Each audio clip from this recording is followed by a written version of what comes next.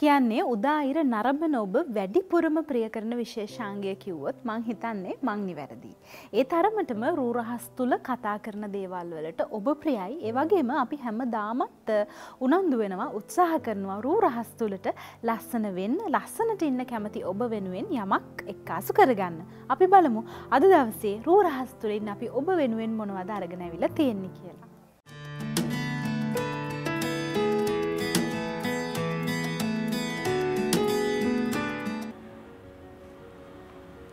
ජීවිතය ජීවත් කරවන්න. එමත් අපේ ජීවිතය ජීවත් වෙන්න අපි සිහින තියෙනවා කියන එක අපි දන්නවා. ඒ වගේම අපේ ජීවිතය කන්ට්‍රෝල් කරන්න කිසිම රිමෝට් කන්ට්‍රෝල් එකක් නැහැ. කිසිම කෙනෙක් නැහැ. අපිම තමයි අපේ ජීවිතය හැම වෙලෙම කන්ට්‍රෝල් කරන්නේ. අපේ ජීවිතය පාලනය කරගන්න ඕනේ අපි. ඉතින් අපේ ජීවිතය පාලනය කර ගැනීමේදී මේ කාලය කළමනාකරණය කිරීම කොහොමද කරන්න ඕනේ. ගොඩක් අය කියන දෙයක් තමයි මට කොහින්ද වෙලාවක් මම කොහොමද මේ දේවල්ට කාලය අයින් කරගන්න. ගොඩක් කාන්තාව කම්පලෙන් කරන දෙයක් තමයි කාලය නෑ කියන දේ. කාලය නෑ කියන දේ අපිට කියන්න පුළුවන් ද ඌ කියන දේ? නෑ මං හිතන්නේ ඕනිම කෙනෙක්ට තමන් ගැන සැලකිල්ලක් දක්වනවා නම් කාලය පොඩ්ඩක් වෙන් කර ගැනීම අපහසුතාවයක් වෙන්නේ නෑ. ඉතින් අද මං ඔයගලන්ට කතා කරන්න යන්නේ ජීවිතේ ලස්සන කරන දෙයක්. ජීවිතේ ලස්සන කරන්න අපි ලස්සනට ඉන්න ඕනේ. අපි සුන්දර වෙන්න ඕනේ. අපි සුන්දර වෙන්න නම් අපි අපි වෙනුවෙන් පොඩි කාලයක් හෝ වැය කරන්න ඕනේ. අපි වෙනුවෙන් කාලය යොදවන්නේ කොහොමද? අපි දසනීමත් එක්ක කාලය කොහොමද අපි කල්පනාකරණය කරගන්නේ කියලා. ඉතින් කාන්තාවක් ගත්තොත් මම කාන්තාව ගැන විශේෂයෙන් කතා කරන්න මොකද රූපය ගැන ගොඩාක් වැඩිපුර සැලකිලා දක්වන්නේ කාන්තාවෝ ටිකක් විවාහයෙන් පස්සේ. එහෙම නැත්නම් බබෙක් හම්බුනට පස්සේ. කාන්තාව කරන්නේ තමන්ගේ රූපය ගැන සැලකිලක් දක්වන්නේ නැහැ. මේ නිසා ඉතා ගැටු ස්වභාවයෙන් නැති වෙන්න පුළුවන්. කියන්නේ තමන්ගේ පෞල් ජීවිතේ රඳා පවතින තමන්ගේ සැමිය හරි කැමති බින්ද ලස්සනට ඉන්නවට ඉතින් ආසයි සුන්දරව ලස්සනට බින්දව දකින්න තියෙනවා නම් කාන්තාවක් විදියට මොන සැමියද අකමැති. ඉතින් පෞල් සංස්ථාව තුල අපිට පුළුවන් මේ කාලය කළමනාකරණය කරලා තමන්ගේ රූපේ ලස්සනට තියාගන්න තමන්ගේ ගෙදර නිවස සිටින තමන්ගේ දරුව පවා අම්මා ලස්සනයි කියන එක අහන්න කැමති. ඉතින් අම්මා ලස්සනට ඉන්නවනම් වගේ දරුවත් හැම්බෙලේම කියන්නේ අම්මා ලස්සනට අඳින්න. අම්මා ලස්සනට ඉන්න. ඒක එයාට හරි ආසයි. ඉතින් මං හිතන්නේ තමන්ගේ සැමියා, තමන්ගේ දරුවෝ, තමන්ගේ පවුලේ අය කාන්තාවක් ලස්සනට දකින්නට කැමතියි. තමන්ගේ කෙනෙක් ලස්සනට ඉන්නවට කැමතියි. ඉතින් මං හිතන්නේ මේ කාලේ කල්පනාකරණය කරගෙන අපි පවුල් සංවිධානය අරගෙන ගියොත් අපිට පුළුවන් හොඳ පවුල් ජීවිතයක් ගෙවනවා වගේම සුන්දරත්වයේ ලස්සනට මතුවෙන විදිහට තමන් ලස්සනට පේන විදිහට තමන්ව ප්‍රසන්ට් කරන්න. තමන් තමයි තමන්ව ප්‍රසන්ට් කරන්න ඕනේ. තව කෙනෙක්ට බෑ තමන් කවුද කියන එක ප්‍රසන්ට් කරන්න. මම මේ අදහස් කරන්නේ එක් එක් එක්කෙනාගෙන් එක්කෙනාට වෙනස්. ඒ වෙනස වෙනස ගැන කතා කරොත්. ඒ කියන්නේ මං හිතුවත් ඒක අපි තරාතිරම අනුව සහ ඒක වෘත්ති අනුව වෙනස් වෙන්න බෑ. පොඩි කාලේ අපි හැදින විදිහක් තියෙනවා. මේ විදිහත් එක්ක තමයි අපි අඳින ස්වභාවය වෙනස් වෙන්නේ. අපේ සමාජ රටාව ඊට පස්සේ වෙනස් වුණාම අපේ සමාජයත් එක්ක අපි වෙනස් වෙනවා. අඳින ඇඳුම් පැළඳුම් හිතන සිතුම් පැතුම් මේ වගේම කන බොන දේවල් මේ හැම දෙයක්ම වෙනස් වෙන්න පුළුවන් සමාජයත් එක්ක.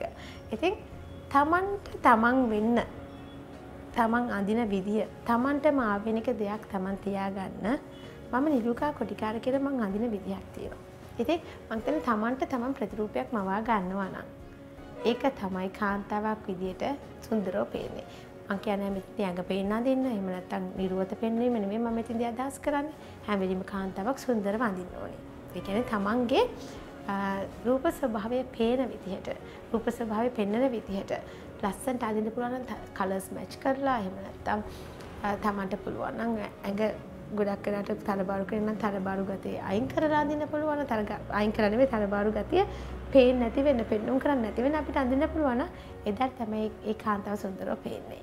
ඉතින් අනිත් එක තව එකක් තමයි වයස අනුව අඳින විදිය වෙනස් වෙනවා.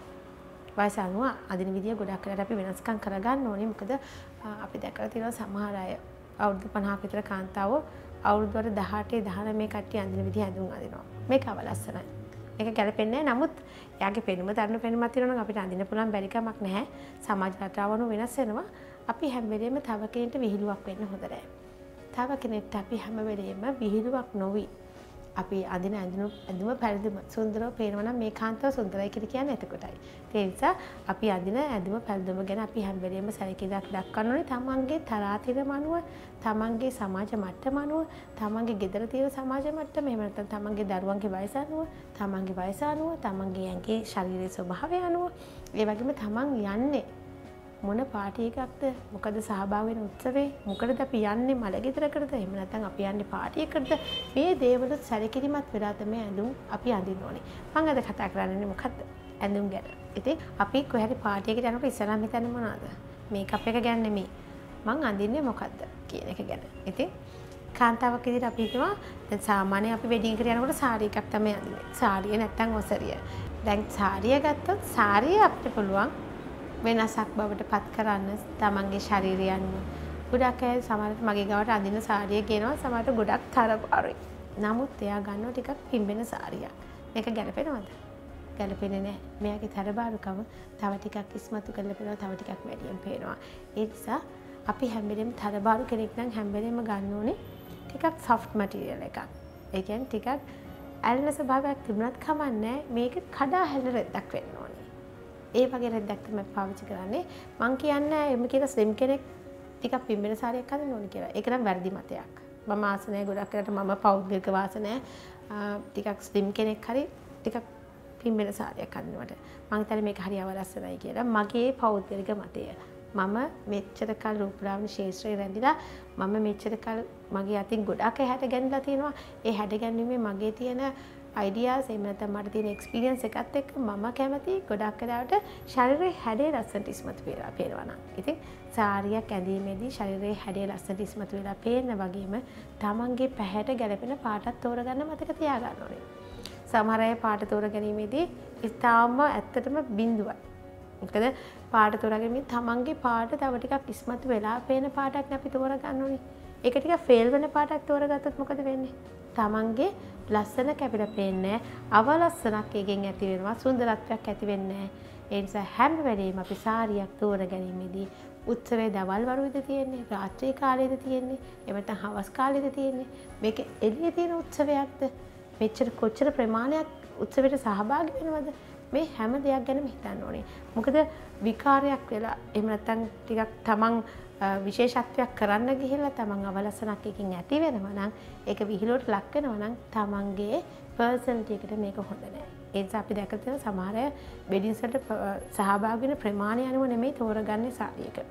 මං කියන්නේ ගොඩක් සිම්පල් වෙන තරමට ලස්සනයි සාරියක් අඳිනකොට ඕන්ට වැඩිය ගොඩාක් දිලිසෙන ස්වභාවයන් දිලිසෙන දේවල් එහෙම නැත්නම් ස්ටෝන්ස් මේ වගේ දේවල් දාලා සාරියක් අඳිනට හරියම සිම්පල් දැන් යන ට්‍රෙන්ඩ් එක තමයි ප්ලේන් කල සාරය එකත් එක්ක ලස්සනට ජැකට් එක ෆුලි වර්ක් කරලා. ඒ වගේම ජුවලරි ටිකක් අඩුවෙන්. එතකොට අපි මේ වගේ අවස්ථාවේදී මේකප් එක ලස්සනට දාගන්න ඕනේ, කොණ්ඩේ ලස්සනට සකසා ගන්න ඕනේ, තමට ගැලපෙන ඇක්සසරිස් පාවිච්චි කරන්න ඕනේ, ගැලපෙන විදිහට සපත්තු දෙක පාවිච්චි කරන්න ඕනේ. මේ දේවල් ගැන සැලකිලිමත් වෙන්න ඕනේ. ඉතින් අපි හිතමු රාත්‍රී කාලයේ උත්සවයක් නම් සමහර අය හිතනවා තද පාට පාවිච්චි කරන රාත්‍රී කාලයේ උත්සවයකට කියලා. ඒක අනිවාර්ය නෑ. දැන් මං හිතන්නේ මගේ අත්දැකීමත් එක්ක මං හිතන්නේ රාත්‍රී කාලේ දවල් කාලය කියලා දැන් වෙන් වෙන්නේ ගොඩක් තියෙන්නේ හෝල් එක වෙඩින් එක. ඉතින් අපි ඇතුළට ගියාම ලයිට්ස් දැම්මට පස්සේ මේක දවල් කාලේද රාත්‍රී කාලේද කියන එක අපිට තේරෙන්නේ නෑ. ඉතින් ඒ නිසා මං හිතන්නේ වෙඩින් එකට යනකොට හැම වෙලේම අපි උත්සාහ කරන්නේ අපේ හැමේ පැහැයට හැමේ පැහැයට හැමේ වර්ණයට ගැලපෙන විදිහට පාට තෝරගන්න. ඉතින් මං හිතන්නේ මේ සුන්දරත්වය කියන එක අපිට පොඩි පොඩි දේවල් තියෙන කරන්න. ඉතින් ඇඳුමෙන් අපිට පුළුවන් අපේ ලස්සන සුන්දරත්වය තව ටිකක් මතු කරලා පෙන්වන්න. ඉතින් මම හිතනවා මම මේ අද කියලා දීපු පොඩි උපදෙසෙන් ඕගලන්ගේ ජීවිතේ වර්ණවත් කරගන්න පුළුවන් ජීවිතේ පොඩි වෙනසක් කරගන්න පුළුවන් වෙයි කියලා. ඉතින් මේක මහඟු දෙයක් වෙයි කියලා. ඉතින් මේ උපදෙස් ටික පිළිපදින්න වෙඩින් එකට යනකොට එහෙම නැත්නම් සාමාන්‍ය ජීවිතයේදී උගලන්ට ලොකු අත්දැකක් වෙයි. පොඩි උපදෙසක් වුණත් ලොකු අත්දැකක් වෙන දෙයක්. ඉතින් ඔගලන්ට මාව කන්ටැක්ට් කරගන්න පුළුවන් 077 3යි 681 680 බිඳුව හැත් හත ඇතුනයි හයිසි අසුක හැසි අසුව. ඒ වගේ මගේ සැලෝන එක ඉලුකක් කොඩිකර සැලෝන්ස්. ගන්ස බහන්දිය ගංගොඩ විල උසාවිස්රා තියෙන්නේ ගංගොඩ විල ගන්ස බහන්දිය නොකයකුට මේ ලිපිනෙන් මාව හම්බෙන්න පුළුවන්. ඉති නැවතතාව කොගරන් හම්බුවෙන්තුරු සුබ දවසක්.